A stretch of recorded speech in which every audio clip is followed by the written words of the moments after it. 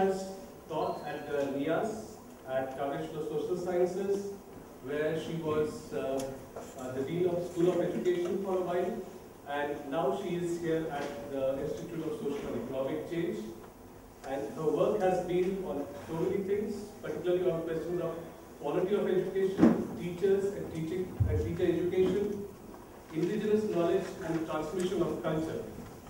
The book Constructing School Knowledge is one which many of us are familiar with. Uh, among other things, she has been one of the key people in creating the uh, now well-renowned DLED program in Delhi University.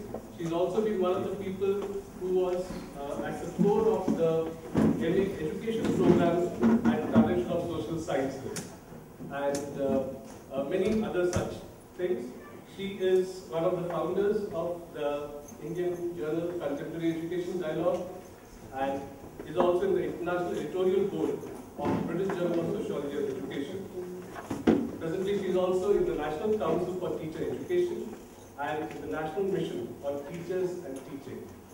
So, thank you, Padma, for having found the time for us. I was beginning to feel a bit left out because I had never visited your university, met any of you in this space, although I've been meeting and interacting with my own colleagues and some of you at other forums, so I'm very glad to have this opportunity to come to university on your own grounds and speak about a theme which I hope will interest you. It is um, a theme which I think is one of the most exciting findings out of the survey that I completed along with other colleagues about two years ago, and I'm, I'm glad to have this opportunity and I can engage with some of the more core technical issues which are directly relevant to education. You might have heard me refer to this theme at some other seminars where some of you have been present, notably the Comparative Education Society of India conferences, where I have referred to this survey of quality in education in three cities that I undertook, along with uh, Rahul Mukhopadhyay of your own university, Manish Jain at the Ambedkar University, and Christopher Winch from King's College London. So this is an opportunity where I want to be able to get into some of the finer uh, findings of this study, which in my view are some of the most exciting things that have emerged out of this work. So I'm very glad to have this opportunity to talk about it. Um, it is work in progress.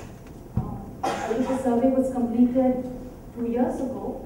Uh, writing about it hasn't been as rigorous as it should have been. I have completed a report along with my colleagues a year ago, but I'm very glad for this opportunity to outline what might be the key argument that will eventually take the shape of a paper. So I very much welcome your own critical comments and reactions to the ideas that I'm going to present here today. This study is a, a three-city study of quality in education. The study was conducted in the cities of Delhi, Hyderabad, and Kolkata, and it was supported by the MHRD with additional grants from TISS, ESRC, ICSSR, and it was conducted mainly between 2010 and 2010. This study uses, um, has at its a conception of quality which is drawn from the works of Christopher Winch and J.P. Naik, in which we have conceptualized, we have actually made an effort to conceptualize the idea of quality itself. After much agonizing, I eventually came to terms with the idea that quality is a multi-dimensional concept. It's not a singular idea, and no single aspect of the school or education can encompass what we intend to communicate through the idea of quality. So I see the idea of quality as something which is useful in the discourse of education to communicate a set of ideas which have to do with aims of education, provisioning, design and capacity of a system to provide education, selection of curriculum, the standards that a system of education sets for itself and what it actually achieves vis-a-vis -vis these standards, what it eventually enables in terms of practice or a pedagogy, and what are the forms of accountabilities which bind the system together.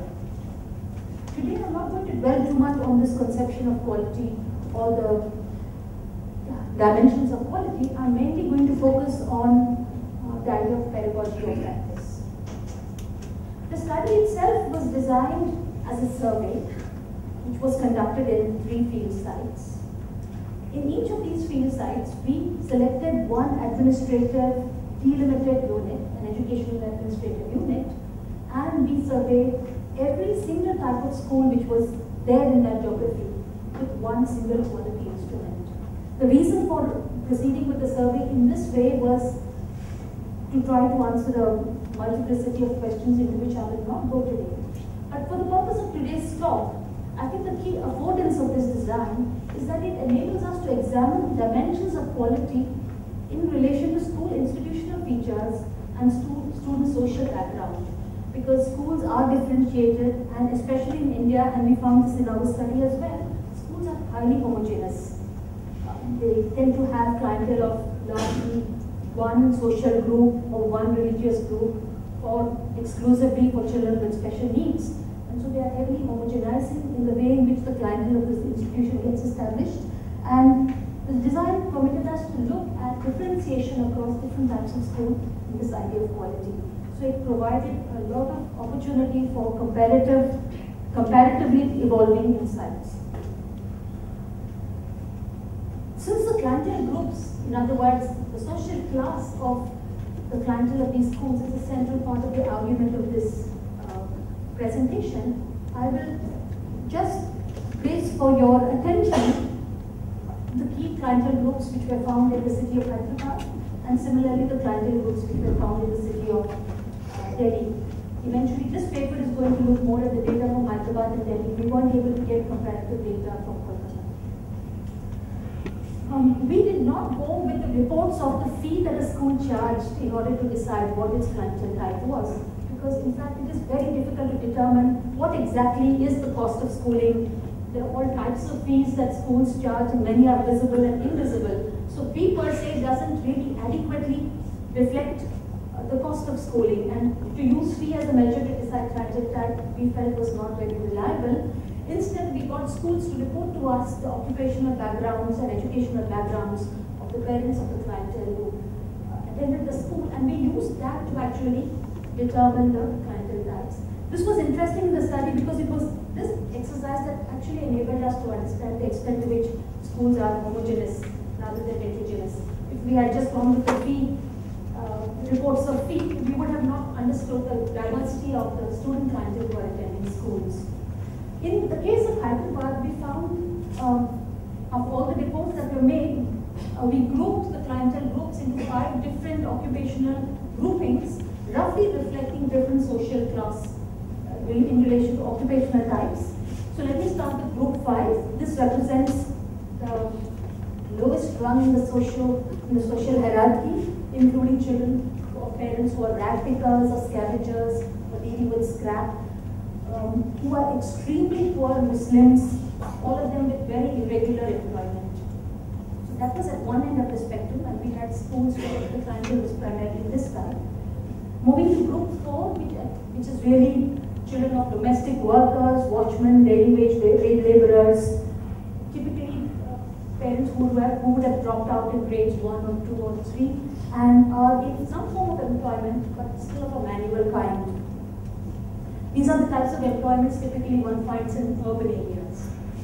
Group 3 included slightly skilled labor like plumbers, um, people working as shop assistants in private employment, and even teachers of primary schools. Group 2, so this is like the turning point. Here's where the groups are slightly more educated. You may expect to find parents who are 10th class pass and 12th class pass in this group. Moving to group 2, which are businessmen, lawyers, small businesses really, shop owners and lower middle class employed. People who own hostels in that area and so on. Slightly more salary, would expect parents to have a graduate degree in this group, and group one being software professionals, doctors, and upper end professionals like bank professionals, well-placed lawyers, and so on. So really the study was unique because we were able to access with the same instrument a range of schools representing all these different types of occupational backgrounds from where the students came. The clientele groups in Delhi are similar. It's similarly. Uh, segregated. Now, the full report is of course available elsewhere. Today I'm going to focus on the idea of pedagogy. In this talk, first of all, I want to present the construction of the idea of pedagogy that evolved in the course of the study, and then I will relate it to the conception of quality and the conception of social class of clientele, and note the differentiating function of school, but more importantly, the differentiating function of pedagogy. Let me begin by laying out some of the key conceptions already existing in the literature which we drew upon and which we engaged with in the course of the study. Before going on to explain how our own study um, directed us to newer dimensions of pedagogy which we think are not as extensively discussed in the literature. Many of you might be familiar with uh, arguments emerging from Christopher Winch's work and also Robin Alexander's work that pedagogy is what teachers do, but it is more than the technique and it is more than what is observed in a classroom. We tend to think of pedagogy as being teachers' work. So we think if we go into a classroom and we observe teachers teaching, we will understand pedagogy. Both Winch and Alexander draw our attention to the fact that the idea of pedagogy is more than what, it is of course centrally what teachers do, but that is not enough in order to understand the idea of pedagogy. It is more than the technique and more than what is observed when we observe teachers in classrooms. Winch uses the idea, idea of a value practice in relation to, it's an embodiment of the values of the aims of education, which is pedagogy. In other words, pedagogy is uh, includes the idea of the intents and the purposes of the aims of education. Alexander actually elaborates this concept quite usefully, mainly emerging out of his own work, Culture and Pedagogy. He says pedagogy is the observable, observable act of teaching together with its attendant discourse of educational theories, values, evidence, and justifications. In other words, pedagogy is it is what one needs to know and the skill one needs to command in order to make and justify the many different kinds of decisions of, which teaching is constituted. I also use the ideas of uh, Krishna Kumar in building this initial idea of pedagogy, in which he argues that um, we are of course familiar with his characterization of the Indian school curriculum as being a textbook culture, which encompasses both the idea of curriculum and pedagogy and draws our attention to the need to understand pedagogy in a systemic perspective and not simply to understand it as the work that teachers manifest in classrooms. Further, Krishna Kumar draws our, selects the idea of pedagogy out of all the numerous things that quality might encompass as the most central proxy in order to understand quality. In other words, if you understood, if you focused on pedagogy, and if you use the normative frame of autonomy of the teacher to understand pedagogy, you would be able to make a substantiated comment on the quality of education. My attempt to connect the idea of pedagogy with social class inevitably requires us to engage with the idea of with the contributions of Bernstein to understanding this whole domain of pedagogy. You may be familiar with his conceptions of classification and framing and pedagogy visible and invisible. These are ideas that he evolved in order to understand and comment on the nature of pedagogic transformation that was taking place in Britain in the 70s, which was moving from more traditionally organized curricula towards more progressive curricula under the influence of Piaget and a number of other influential thinkers of that period. Bernstein draws our attention to the fact that the form of curriculum stands in relation to the structure and the extent of differentiation in society. So the form and the nature of curriculum is not happenstance. It is not something that merely emerges out of some ideation or thinking of pedagogues. It directly relates to the form and structure and differentiation which exists in society. And he discusses the collection code of curricula which is characterized by strong classification and strong framing as a rigid kind of a frame which produces, uh, differentiation and hierarchy. It is designed to uh, work in societies which are highly differentiated and hierarchical, and such a collection code in the curriculum actually uh, reproduces that. He also draws our attention to the fact that pedagogy is both instructional and regulating. We tend to think of the idea of pedagogy as mainly oriented towards the production of learning outcomes.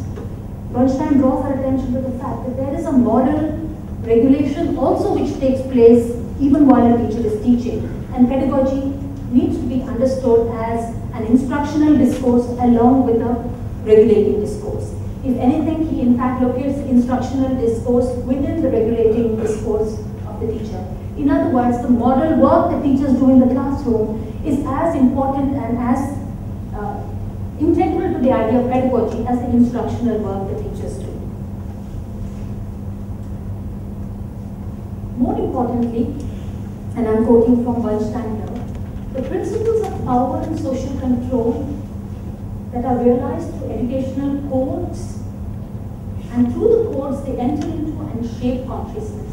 I made some grammatical error there, but I want you to focus mainly on this idea.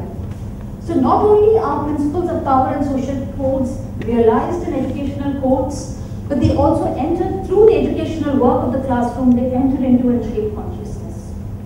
And he asks this important question, which in a way is the question that I am also asking in this paper. What are the different different socializing experiences that are realized through the variations in the strengths of the classifications and frame. Although in this paper I don't use the conceptions of classification and frame yet, but I am asking the question of what are the different socializing experiences that are realized through the variations in pedagogic form.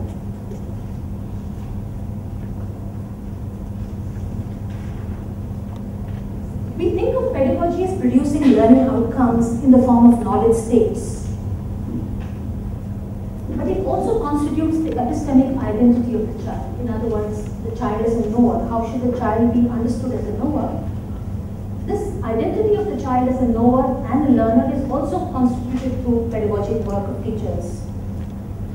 So, um, the, the epistemic idea, the epistemic identity of the child as a learner implicitly assumes, is based implicitly on a learning theory and a moral theory, and it locates this identity in relation to the children's home and the outer school resources and the involvement of the home in the work of the school.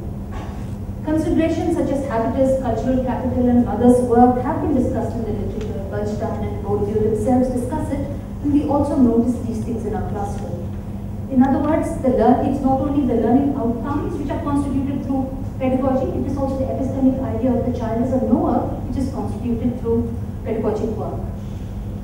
But while attempting to understand and interpret significance of what teachers were doing in classroom, especially as was brought out by the key differences that we were seeing across schools, we noticed the presence of the idea of potential, aspiration, and amenability to the responsiveness of education work that is the notion of the idea of educability. Maybe I need to just repeat this idea. In other words, we're used to the idea that pedagogy will produce learning outcomes and pedagogy will produce epistemic idea, identity. But in addition, we seem to be seeing in the schools that we were observing that pedagogy was also working on and producing and constructing and also anticipating something like a potential or an aspiration or a possibility and this is uh, could be conveyed through the idea of educability. Firstly, this was in relation to the child's home and the extent to which the school could draw on the child's home and influence it. In other words, the non-school sites where schoolwork is done. So clearly the notion of educability seemed to presume that schoolwork will be carried on outside of school, in non-school sites, such as the home, such as the tuition center, And somewhere the, potential of the child was also reflecting the child's own access these kinds of resources outside of the school. In other words, the non-school sites where schoolwork is done. But in addition, we also began to notice that there is more than epistemic identity that is being worked on by the teacher. It is the anticipation of the adult. And and therefore it is better understood as identity and consciousness forming and not only epistemic in its purpose and scope. And this is something that we felt that our study was actually presenting to us, that there is more than epistemic work which teachers are doing, they're actually constituting identity in anticipation of such an adult that this child is going to become. Like all socialization understood within the social construction paradigm, this involves the being and anticipate, anticipates the becoming in the being. That is, the child, an adult, and the adult who is in the making in the child, present and the potential. Both of these are implicated in the idea of pedagogy. Having now introduced this idea of pedagogy that we arrived at in the course of the empirical uh, work that we were doing with more clarity. I'm not saying that this has not been discussed in the literature. In fact, Bernstein anticipates it when he says that pedagogy is consciousness forming. Nevertheless, I think it emerged with much more clarity when we tried to make sense of the pedagogy which was manifest in the classroom and understood what is significantly different in the different sites.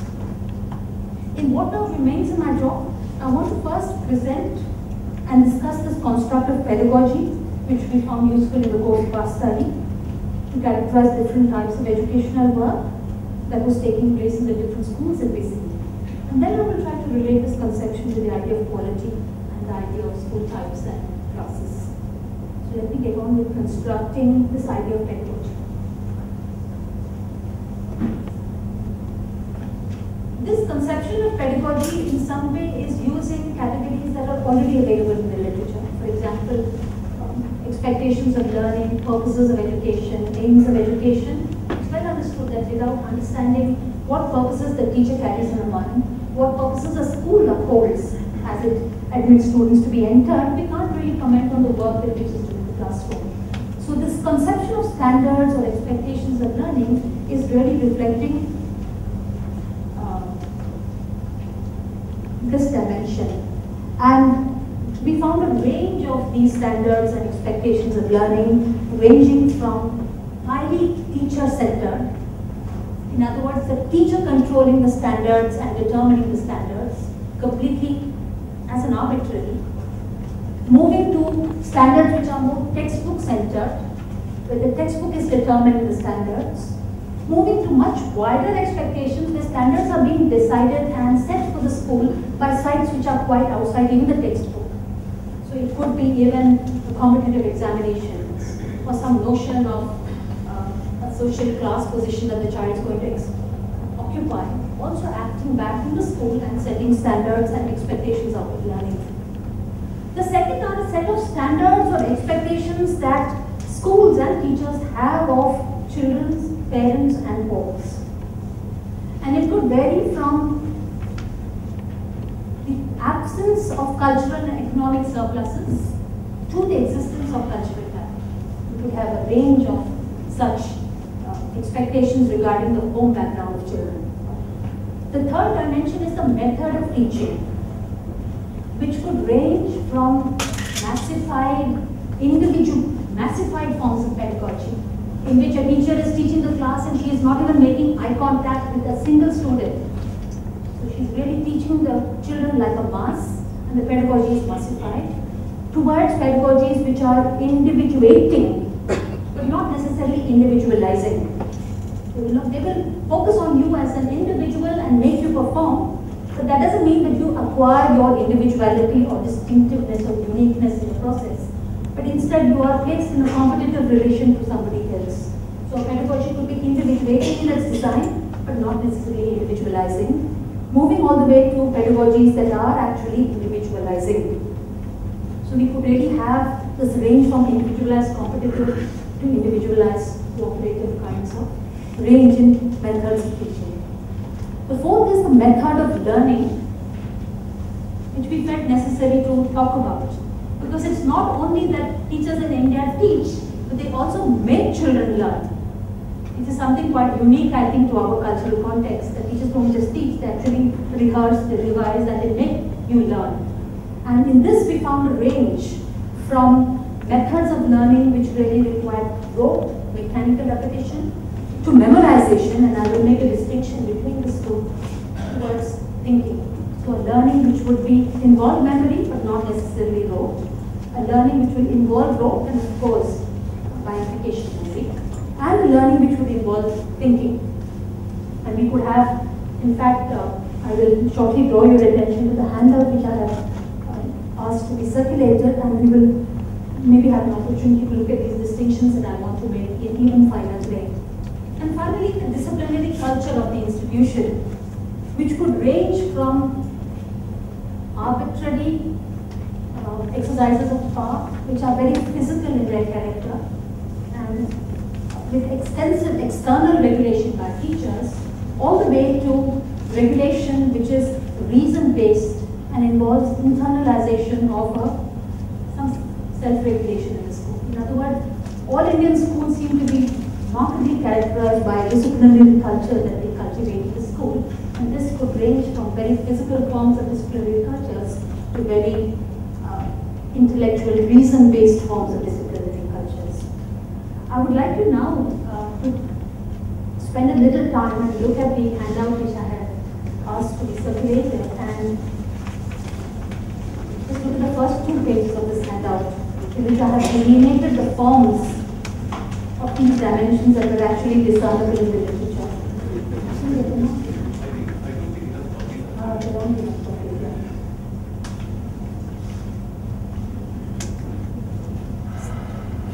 That would have been interesting and maybe later on you could have an opportunity to look at it, you can examine these distinctions that I have made and give me your feedback or comment on it.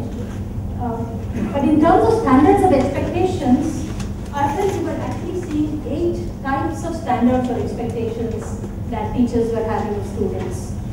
I've already indicated to you that it could be teacher-centered, and I want to distinguish this idea of being teacher-centered from the idea of being textbook-centered. Setting of standards is where the teacher is the one who decides what needs to be learned and what learning will count as. And the child does not even, cannot even look at the textbook as the center of standards. So the power is located in only the teacher. And even the textbook as a source of authority or knowledge is actually set aside by this. So the teacher then totally controls what may happen in the classroom as the sole decider of both what needs to be learned and what learning will count as and how it has to be learned. And this could range from that to a range of forms of textbook cultures. In fact, I felt that we were not seeing just a single type of textbook culture in the Indian classroom. We were seeing many types of textbook cultures where we could see distinctions between textbook cultures where the reproduction of the exact answer, so you, it's textbook centered, but what will count as the right answer is decided by the teacher. Versus what will count as the right answer will be what is a reproduction of the textbook towards the exhibition of some concepts or comprehension referenced answers, towards answers which involve the textbook but are actually directed at conceptual learning which is linked towards competitive exams. And this is really emerging very strongly in Hyderabad, where the presence of these competitive exams goes down into the school even in grade 6 and 7. It's very apparent in how it is influencing the pedagogic cultures. Moving towards productions of answers which are beyond the textbook where children are expected to demonstrate conceptual understanding, finally towards production of reasoning, creativity, novelty, and reflective conceptual understanding. So there's a range of types of standards or expectations of learning that we can actually discern in classrooms. I will, I'm going to just discuss the standards or expectations from home because I feel this is the new dimension that most studies don't talk about, and then I will leave the rest to your imagination. In the standards and expectations of home, we can have one scenario where the home lacks um, cultural capital and the school has no expectation from home. But it views the home empathetically. It doesn't expect that there will be any support for schooling from home. In fact, the homes would probably be very, very poverty-stricken homes. But the relationship of the school towards the home is one of empathy. We could also have a situation in which there are no expectations from home, but the home is tolerated. or the relationship with the home is very tense. And it is mainly an engagement with the home around the collection of fee or the collection of resources. And that's the nature of the relationship. Or there could be a relationship from, with home where the expectation is really one of anticipating obstructive and negative influences from the home or negligence. And therefore the home has to be countered by work in the school. So it's not just that the home cannot contribute, but in fact the work of the school has to counter the work of the home. You can't just ignore it, you have to do something about it in the work of the school. Moving on to situations where you, the home and the school exchange complaints about the child. In parent-teacher meetings, for example, there will be discussion and the child becomes a moral project, a moral project for the school and the home. And that's the nature of relationship between the home and the school. Moving to another scenario where the home may be seen as something which is amenable to being educated about how to support the child in school.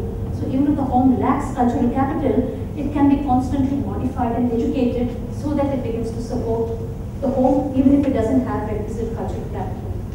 Moving on to the relationship where the home complements the school and it provides cultural capital that school will draw from. So there's a kind of a continuity between the home and the school.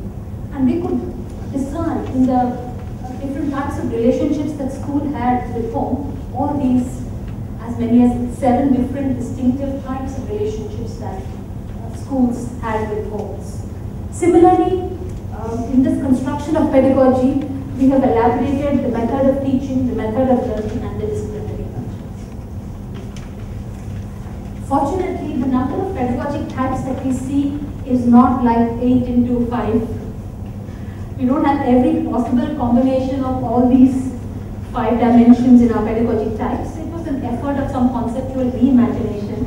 But I hope that I will be able to uh, convince you all later on that broadly there were seven distinctive pedagogic forms that eventually became apparent in uh, space of the, uh, in what we were studying. Um, I will just uh, draw your attention. The exercise of constructing pedagogy, of constructing pedagogy was carried out um, in both Hyderabad and Delhi. And in the case of Delhi, there was a need to introduce a few additional dimensions, but I won't go into that. You may note the absence of the idea of content diversity of curriculum in this discussion of pedagogic types.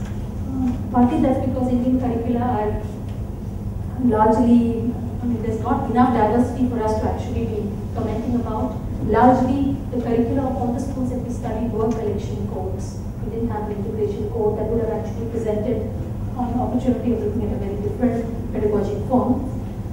But we also found that ideas like learning of English, learning of mathematics, or all-round development could be integrated into the idea of learning standards. Also, tuition is absent as an explicit variable in classifying pedagogic types. But I see tuition as largely getting integrated into the relationship of the home to the school and the conception of learning that the school works with. Because the conception of learning, it's really an interesting dimension of pedagogy that the Indian, I think it would be impossible for us to describe what teachers do without adequately discussing how teachers make children learn, not only how teachers teach. There, there seems to be this idea of the tutor, tutoring work or the revision work that schools expect should happen to support the learning in schools. What I've actually done is to evolve seven different types of pedagogies or pedagogic regimes. And I'll come and discuss this and why I'm making this distinction in a bit. There's a difference between the context of Hyderabad and the context of Delhi, which is an important distinction that we will have to think about. Since the handouts are not available for you to read, I'm going to again try to evoke your imagination of these different pedagogic forms, which I have given names to. I'm calling the first one a domestication. And uh, Manish uses the idea of domestication and citizenship. Here the learning objectives are very basic ones of literacy and numeracy, obedience, and at most learning the teacher's answers. There are no expectations from children's home, or if anything, the home is to be tolerated. The feed collection is involved, the relationship is tense and one of distrust. The main method of teaching is to mark out or write out what needs to be learned, and children are expected to copy and repeat in order to learn. Instructions are very short, either in Telugu or in English. The focus is mostly on alphabetic, spelling, and exact reproduction. The supervision by the teacher can often be negligent and sporadic, and the disciplinary culture of these spaces seems to me mainly one of corporal physical control. Children's voices are not heard in the classroom except when they are permitted to talk by children.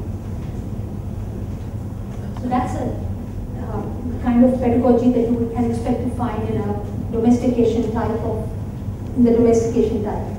The textbook cultures vary mainly because there are differential expectations that schools can have of home. And there are different types of disciplinary cultures that school uh, bring into place. Uh, the ordering is deliberate. It is moving from more textbook-oriented reproduction forms towards textbook-oriented but exhibiting comprehension forms in these range of the textbook cultures that we see. So in textbook cultures, we can have uh, a teaching which values the reproduction, the learning of the textbook, but also wants a demonstration of some understanding along with that uh, ability to reproduce what the textbook does. This is a form of pedagogy which is distinctive of Andhra, I think, which is the SWAT culture. It's the culture which has entered into the school because tuition houses have just found it much more convenient to become schools. And the pedagogy is really micromanagement of children's learning. Uh, lessons are micro-planned and children's learning is micro-controlled. The learning objective is speed and accuracy of reproduction, but also concept reference. It's not that the concepts don't count in this. It's not rote memory which is value. It is conceptual learning, but along with speed and accuracy. And the reference is competitive examinations, mostly maths and science focused. The school and the home cooperate to place the child in a tight regimen of disciplined study. Lessons are, are all micro-planned and micro-controlled. Revision is micro-controlled and involves a lot of repeated testing. New and expanded curriculum may or may not be followed, but even then it would be based on a micro-control. And the discipline which is instituted in these spaces is simply by the control of time and space. So there is no explicit corporal punishment going on here, but just the structuring of time and space ensures that children are disciplined all the time. We are six, these are important pedagogies uh, because naturally we want to see more emergence of progressive forms of pedagogy in the school. These are forms of progressive pedagogies where the school can that there will be a social and a, and a cultural capital from the home. And the school values reasoning, creativity, and it also anticipates that the home will support the school. Importantly, it also knows that the home will support the school as far as the knowledge of English is concerned. The teaching is dialogic and interactive, and children's voices can be heard and maybe even encouraged to speak. Here, the disciplinary code is really one of self-regulation through internalization of the norms of the school. This final form of pedagogy is very important to notice. It is a form of progressive pedagogy which may not have any cultural and social capital. But this is happening in the schools which are mother tongue based. Most of the other schools that I'm talking about are really uh, largely English medium based. In these schools, the, there is a demand for higher order thinking, self-development. There are no expectations from the home, but the home is viewed with empathy. And the teaching involves a lot of interaction and explanation in the tongue. Children's voices can be heard and they ask questions. Revision is based on rote or recall, but it is with motivation, it's not without that. The discipline may sometimes be physical, but it may also involve self-control and discipline. And your teachers are taught this. Sounds very idyllic. And, uh, I mean, broadly a progressive form of pedagogy. In Delhi, similar types of pedagogy were noticed, but Manish felt the need to uh, collapse pedagogies in a slightly different way. He noticed the wide prevalence of a pedagogy which he thought should be would best be described as a guru type of pedagogy, in which the teacher has used the home empathetically and basically has long monologues in which the teacher may actually veer out the textbook into a lot of other domains. So he characterized this as a guru pedagogy. And he found there's a slight confusion because we have not sorted out the labeling of pedagogic forms. So this would roughly map on to six uh, progressive pedagogic types. Um, they are arranged in a hierarchy suggesting that there is some kind of a normative interest which we as educationists might have towards seeing uh, more progressive forms of pedagogy. But it is largely intended to be descriptive rather than normative. You may read it normatively, but I hope you will also read it descriptive. What I'm going to do now is actually present to you um, the relationship that we saw between pedagogic forms and social class. You will recall I mentioned, um, before I get into this, I must discuss the idea of the pedagogic regime. So let me just do that. In the case of the schools that we saw in Hyderabad, there seemed to be a very strong reason to uh, attribute the form of pedagogy that we were seeing to the entire institution. In other words, the institution itself seemed to be producing a certain of pedagogy, so it could no longer be understood as something that individual teachers produce. It is really an institutional culture which creates a certain pedagogic form. And teachers may vary a little bit within it, but there's not a whole, whole, whole lot of room for that. Now, how does this get constituted is a separate question that we can ask. But there seem to be, in fact, this seems to even cut across levels of school. It's not that we see certain pedagogic types in the lower grades and certain other pedagogic types in higher grades, but largely we seem to characterize the institution of school. In the, and there were only some institutions where there was a huge amount of variation that you could see within the institution in terms of pedagogic form. And I will talk about that in a bit. In the case of Delhi, Manish found that there was a distinction that needed to be made. The idea of pedagogic regime or an institutional culture of pedagogy is a valuable one, but he also felt that there were important distinctions and differences that could be noticed at the teacher level. My own hunch is that he was looking at a much larger section of government schools, while in the Hyderabad study I was looking at a much larger section of private schools. And this might account for the fact that he was seeing a lot of pedagogic variations at the individual teacher level, but I was seeing a lot of homogeneity which had to be understood at the institutional level.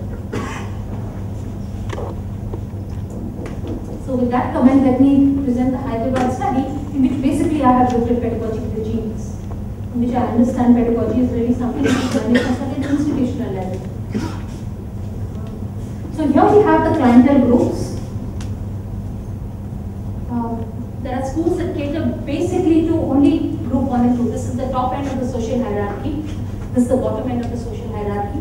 You can see that there are almost no schools where there is very heterogeneous social class. The only school where it exists is a special school.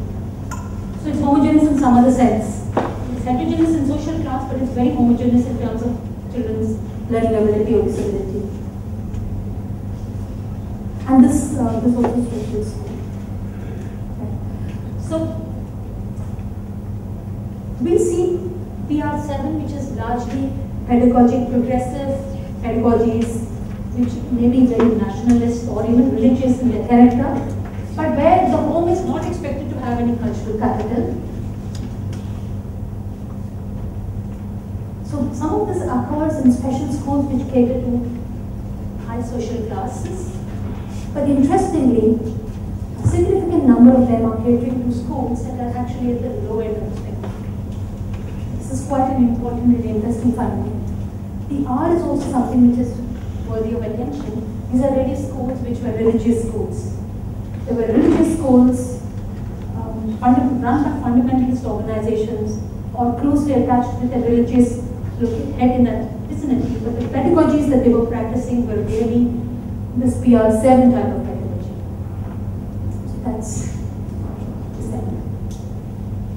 the other point to note is that these, so the private schools which were in this group were the schools catering to the religious minorities and run by religious trusts, and in one case run by charitable.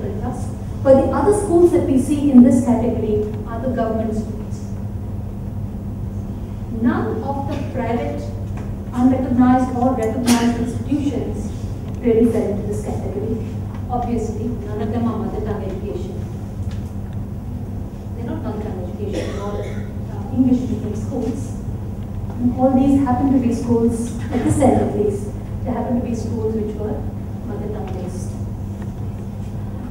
The domestication and citizenship types of pedagogies largely with the schools that are catering to group 4 and 5, which means the lower end of the social spectrum. And with the exception of three government schools, all the remaining schools in this group are the private, uh, recognized or unrecognized schools at this end. The textbook cultures, we see a range, and it's interesting, you can actually see that as you move towards more progressive types of pedagogy, you're also moving up in the social class It's very distinctively there. It's not that they don't exist in other spaces, but by and large, the schools are becoming more progressively oriented, more concept oriented, less rote, repetition based pedagogies as we move up the social class. The swatting type of pedagogy, interestingly, is catering to among the highest socioeconomic groups, possibly because the costs of home support are really very, very high in this group. We also see it across the other groups, but interestingly here.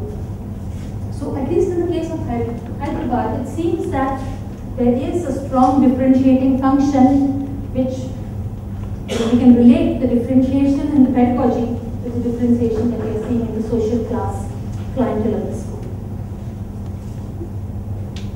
In the case of Delhi, because Manish was able to analyzes data both at the level of the individual class uh, and he's also tabulated the data to look at different school types. And there's an interesting commentary which emerges there again. The sample of classrooms that Manish looked at was 82 out of 48 schools. And what we see is that out of the 44 MCD schools, a reasonably large component of these schools were actually practicing a pedagogy a progressive form of pedagogy as compared to the, the private recognized or the private unrecognized schools and also as compared to the Department of Education schools. So in the MCD schools there was quite a significant progressive pedagogies that were visible and more domesticating and citizenship types of pedagogies, very high percentages that we see in the private unrecognized and private recognized sector.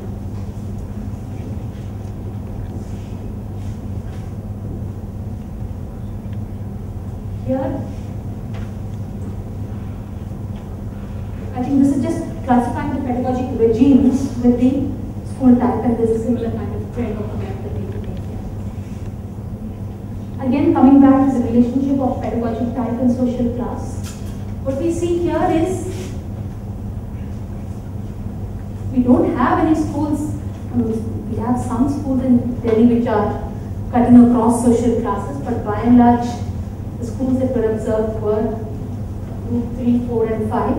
And here we do see, these, remember these are the more pedagogic, progressive types of pedagogies. What do we see?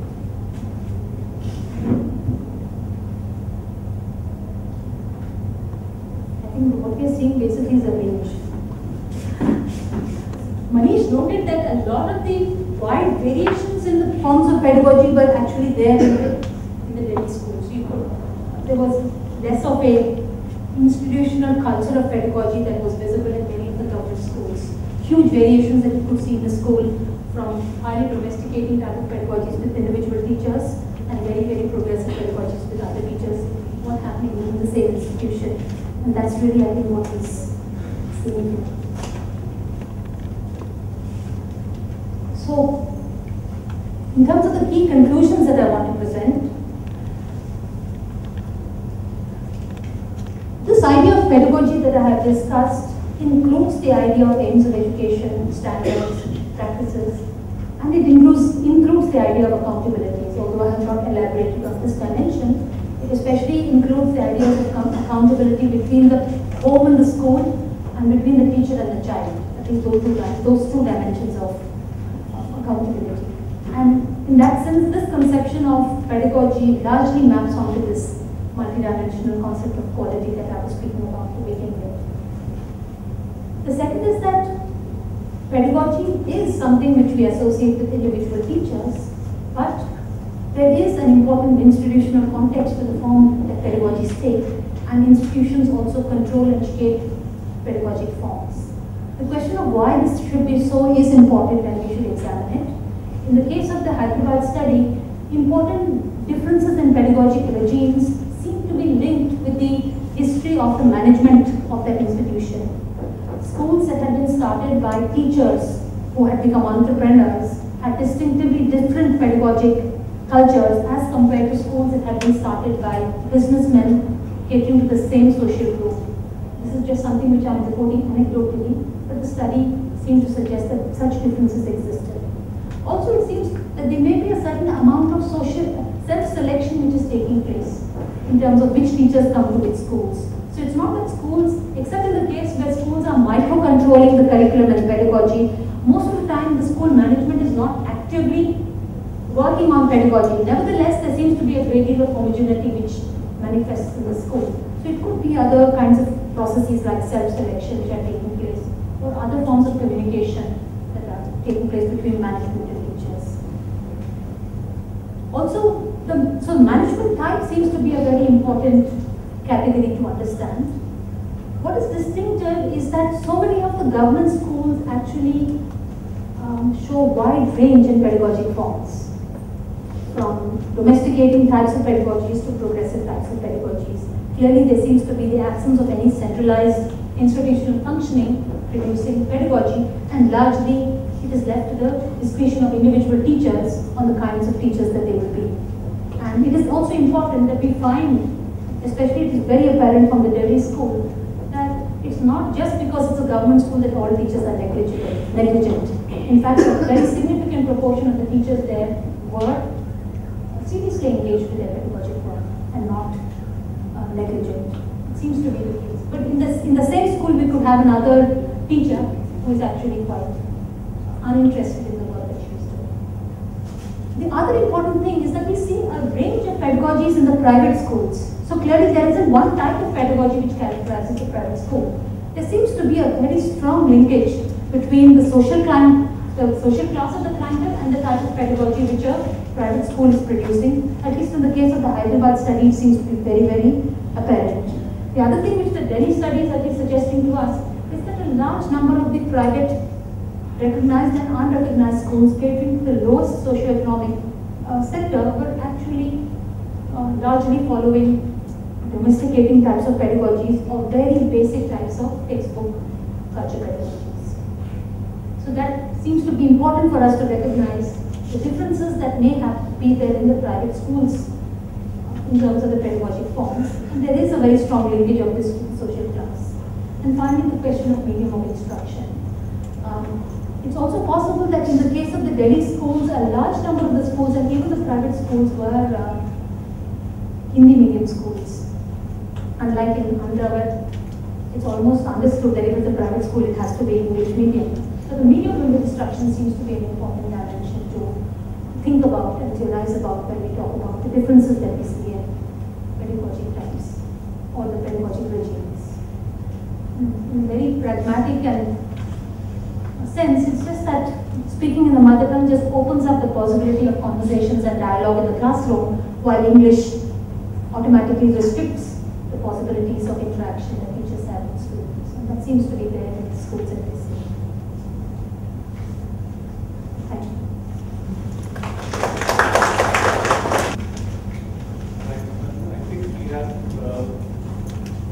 of pedagogy should map onto the idea of quality.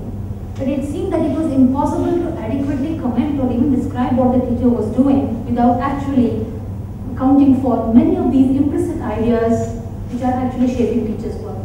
I think it, in fact we probably need to rethink um, more the narrow notion of pedagogy and make it more comprehensive. I think it's very essential for us, even in learning theory, to be able to talk about how teachers hold up and respond possibilities of students in the work of teachers.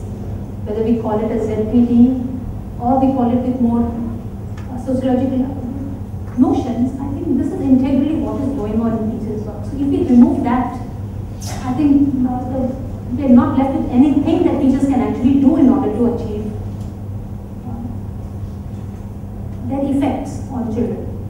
I think it's because the teacher is actually working with a notion of quality that she is able to be a pedagogue. I would, I think that the empirical study in fact supports the widening of this conception that Alexander and others have talked about. And it in a way requires, also we did not expect the extent to which our understanding of what was happening in the classroom was implicating a certain relationship that the schools were having or parents were having in terms of expectations. But I think as practical teachers, we know that the work of teachers implicitly assumes many of these things. So I think this empirical work has compelled us to make these dimensions of pedagogy much more explicit.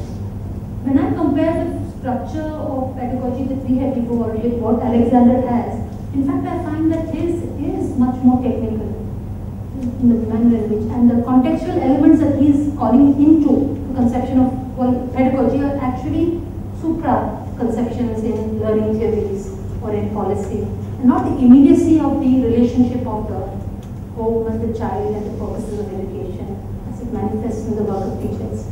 So I think uh, you're right if you say that this is mapping onto the conception of quality and to that extent I think Krishna Kumar is right in choosing pedagogy as the most important dimension to be looking at when you're uh, commenting on quality. Think on that point I would agree with you. I think quality is really a term which doesn't belong in education theory, it belongs in education policy. Pedagogy belongs in education theory. And it's our work to appropriate the discourse of quality back into pedagogy and not only learning outcomes.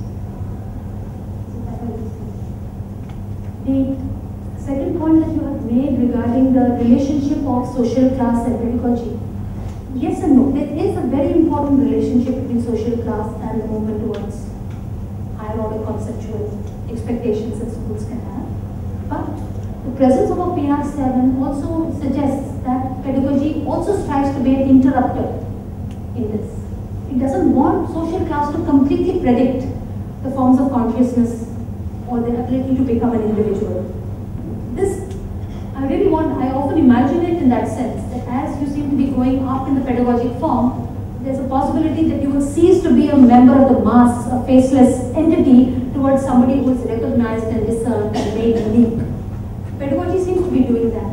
Instead, it is allowing you to emerge as somebody with unique agency, identity, capability. The presence of PR7 is suggesting that there may be an attempt to interrupt that to alternative types of pedagogy work. I haven't explored the idea of interruption adequately, but I think Bernstein, for example, gives us some conceptual tools to think about that, and I think it's important for us to think about that. The only comment I will, the only comment I will make is, is that uh, tying pedagogy closely with aims and standards, uh, here maybe this sharpens the analysis, but in certain, certain other situations, uh, this, this loses the possibility of having the same pedagogy for different kinds of standards and aims, or for the same kinds of aims and standard having different kinds of pedagogy. But if you get into the conception of pedagogy, you will find that different types of methods of teaching may be there in other pedagogies. The same type of method of teaching may be able to produce different pedagogies. That is possible. But then I will distinction, distinct, uh, method of teaching from the idea of pedagogy.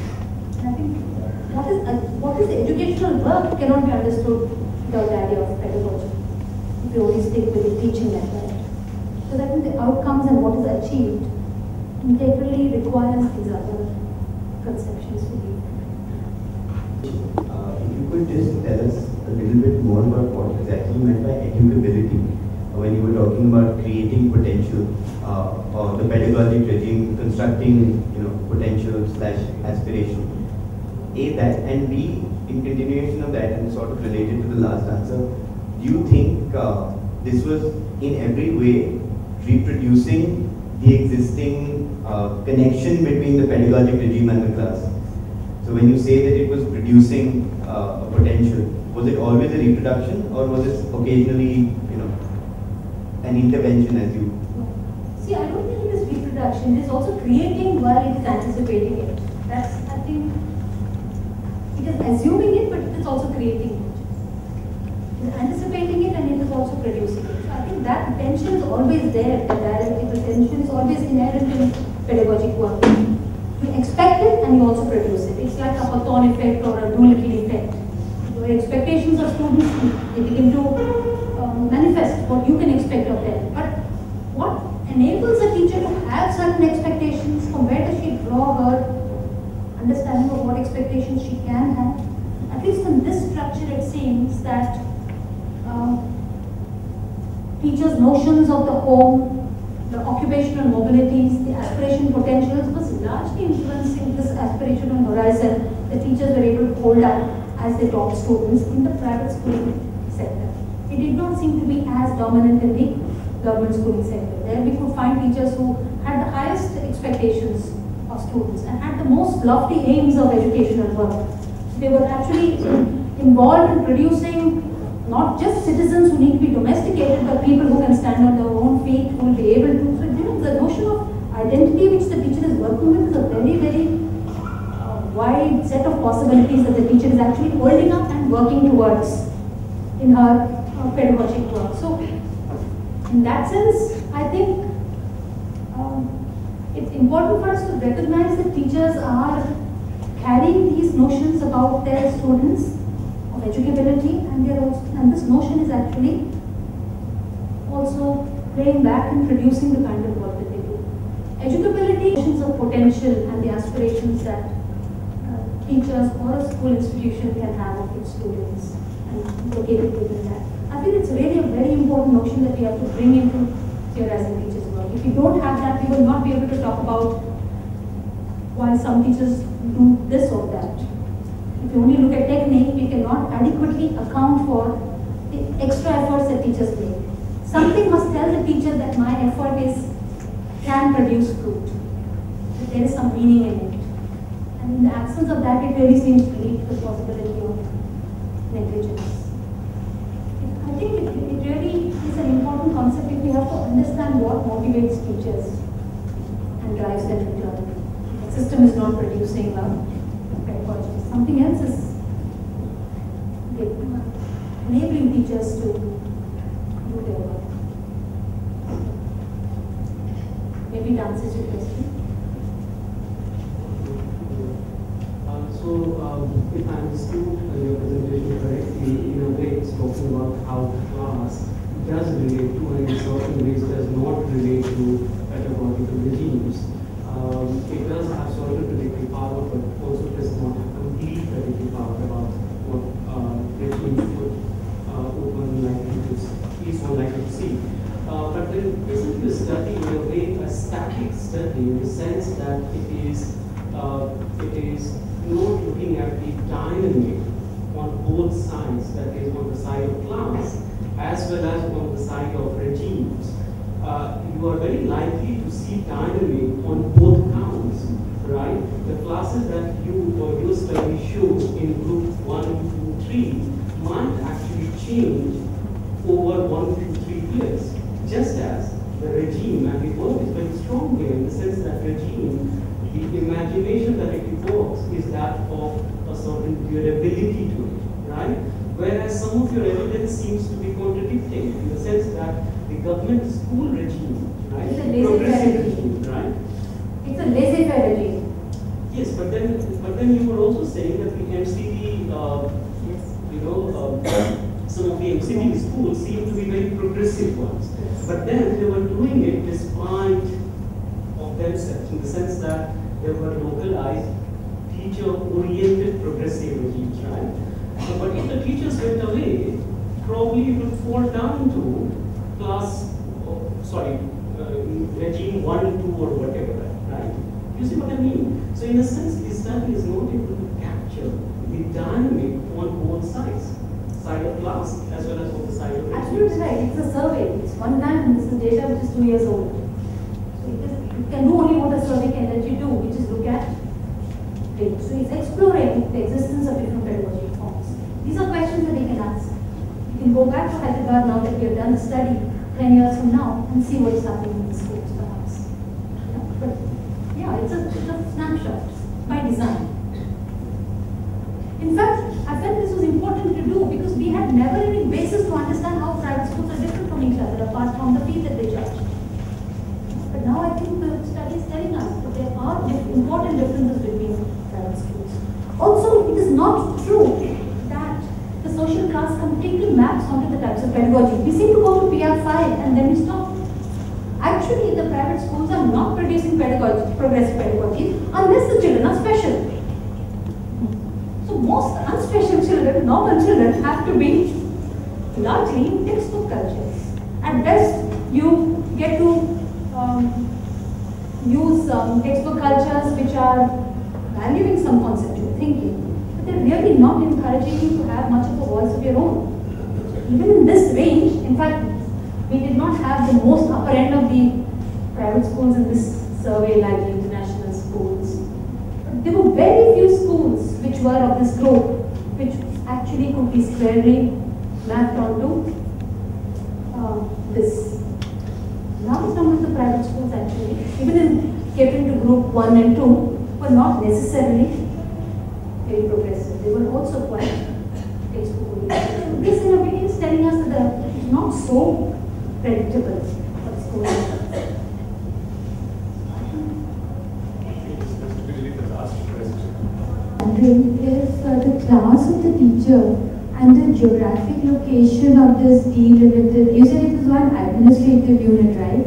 So I was just wondering, like, you know, if I look over, uh, as I look at Delhi, and it's something like a Kailash colony kind of an area, and if you look at Hyderabad and a Gachibowli kind of an area, there's a certain uh, geography which is determining, and also the class of the teacher, you know, where she is uh, coming from. Uh, I was just wondering, are these, could these have been If uh, the, if the, when we selected our geographic areas, we actually surveyed quite extensively the schools in the area and chose areas which had a lot of um, diversity, socio-economic diversities of school types and kind of population as well. So we in fact did not choose an area like Gachibowli, we did not choose an area like Old City, which were very homogeneous in some ways in terms of groups. And the distribution of aided schools in Hyderabad is very, very varied. So we chose a s- uh, an area where we would have sufficient aided schools that we could also look at. and the class of the teacher? The class of the teacher actually did not come up so strongly as a, a variable here. The institutional form seemed to be far more important. Not the class of the teacher actually. There could be some amount of self-selection. In fact, that's another dimension of the study to write about because one of the dimensions of accountability which are not talked about and actually don't feature in the forms of accountability are the uh, accountabilities between management and teachers. And how teachers get managed in the school. And there, um, maybe social class actually works like a self-selection of why certain teachers come to work in certain schools. Because they have to manage relationships through which they are able to get legal work. In fact, we didn't find any lower incidence of leave in the private schools at all. We just found lower incidences of classrooms without adults. But who's to say that that adult is actually the appointed teacher? But we found actually many, in of these private schools were busy with phone calls to manage teachers calling in to say, I'm not coming in today. And the manager having to actively find substitute teachers to take charge of the class. It's a very important activity. In fact, in the management would also quite candid in telling us that it is taking in our schools. But they had ways of working around that just to make sure. So we have this huge buffer of parent teachers actually who can make up for absences of teachers in these schools. But per se, the expectation that a, ped- a social class of the teacher will anticipate a pedagogic form or a certain habitus of teaching, that didn't seem to be very evident in the schools. It was interesting that the teacher emerged as a person, as an identifiable teacher, only in the private in the government schools. The person of the teacher was very evident in the government schools, not in the private schools. You accept that you you understand this last comment you evidence your people? Yes, I don't actually understand the idea of being system. And reading have no consequences of very progressive, engaged work, even coming out of conventional notions of what is it to learn. I'm not saying that they were not repeating and mugging in the government school, but they were doing it with a lot of enthusiasm and dedication, so that counts. Thank you.